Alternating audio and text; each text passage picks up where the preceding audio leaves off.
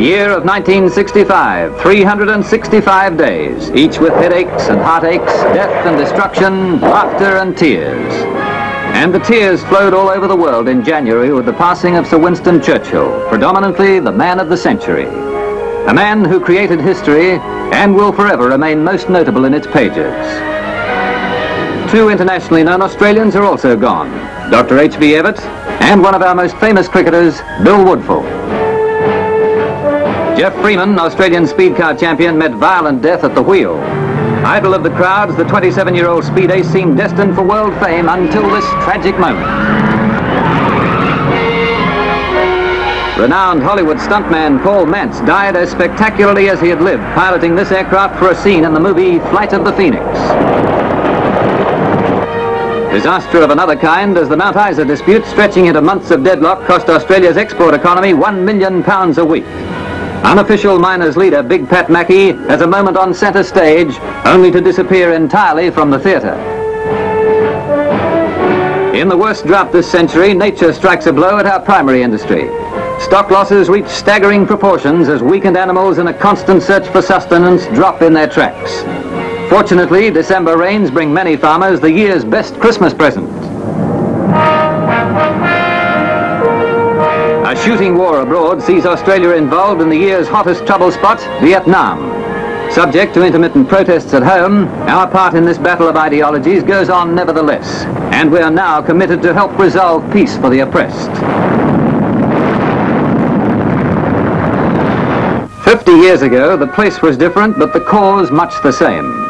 More than 300 original Anzacs went back to Gallipoli, a pilgrimage in memory of comrades who died for freedom's sake. In July, an ill-starred bid for freedom with 200 convicts in an orgy of rioting and destruction behind the grim walls of Auckland's Mount Eden jail. Causing a regular riot in Sydney's community affairs, the announcement that the price of that controversial building on the foreshores is rocketing up to around 30 million pounds. Amidst the bare steel and concrete, Australia's Joan Sutherland attends the first official function to be held in this expensive piece of culture. VIP farewells and hellos during 65. An emotional goodbye to retiring Governor General Lord De L'Isle. Dame Pattie Menzies, obviously affected by the occasion. The announcement of his successor, Lord Casey, seemed calculated to bring back the smiles. Here was a prominent Australian and a popular choice.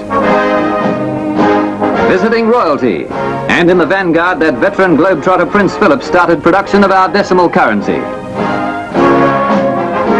Former Governor General, the Duke of Gloucester, dropped in, with the Duchess still showing signs of their car accident.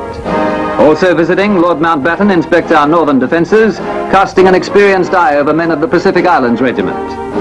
Royalty surprised the older generation, but delighted the younger by creating the Beatles, MBE.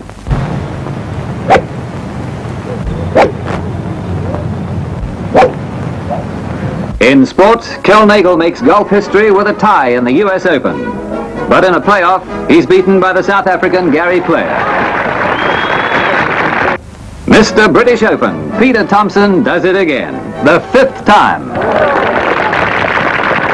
In Australia, Bruce Devlin sinks a short putt to win the Masters tournament, defeating some of the world's top golfers, and thus ending a run of seconds. On the centre court of the tennis mecca Wimbledon, an all-Australian final with Roy Emerson and Fred Stolle battling out the men's singles. Emerson added another cup to the mantelpiece, and Margaret Smith followed his lead by defeating Brazil's Maria Bueno.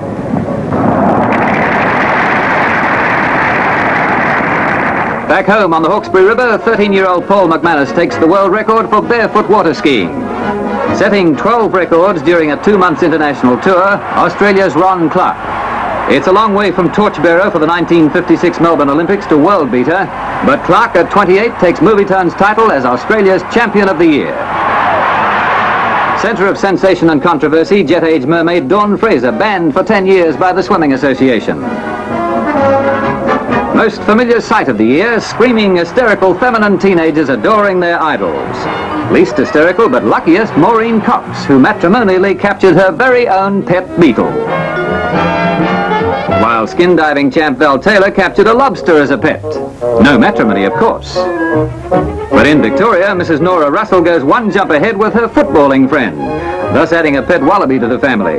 What, no green and gold blazer? In Sydney, 65's wedding bells rang for Hollywood film star Jane Powell and new hubby, tall Jim Fitzgerald. Also down the aisle in the sporting nuptials of the year, Dawn Fraser and Queensland bookmaker Gary Ware. December seals the fate of Federal Minister Bill McMahon, who wed socialite Sonia Hopkins. From church to nursery, to find former Miss International beauty Tanya Verstak admiring Nina, youngest of the youngs. But across the Tasman, the stork multiplied by five. So now there's Shirlene, Selina, Deborah, Lisa and Samuel, New Zealand's most famous little citizens. And as the proud parents, Mr. and Mrs. Lawson would agree, we reckon that's about enough for one year.